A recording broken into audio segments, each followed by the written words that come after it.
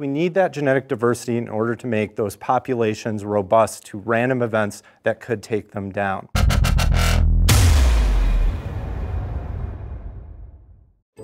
Hi, I'm Mike Rotter, and I'm an assistant professor in biology here at UVU. In 1950, a pack of wolves crossed an ice bridge onto Isle Royale National Park. These wolves became trapped on this island.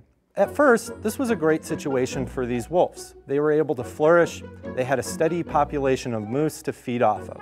But there was a specter haunting this population, and that specter was genetic drift. Genetic drift is a process by which a population can lose diversity in their genes very fast. Over time, random events such as disease coming to the island, as well as some of the wolves falling down abandoned mine shafts, further reduced this population and further reduced the genetic variation. For about 70 years, these wolves got to a point where the only ones left were extremely closely related and were unable to breed because of how close they were.